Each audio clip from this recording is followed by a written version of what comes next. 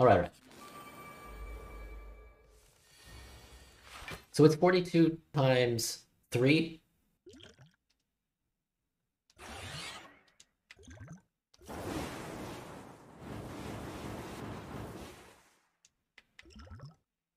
I don't know.